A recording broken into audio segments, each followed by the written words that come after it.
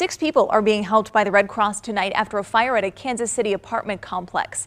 It happened around 1:45 this afternoon at East 26th and Van Brunt Boulevard. KCFD says that crews were able to make quick work of the flames containing the two-story apartment fire to one unit.